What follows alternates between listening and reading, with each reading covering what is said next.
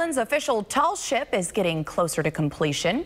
There has been enormous progress since the public first caught a glimpse of the SSV Oliver Hazard Perry three years ago. Shipbuilders in Quonset have created a massive steel hull that will be unveiled to the public tomorrow at Fort Adams State Park in Newport.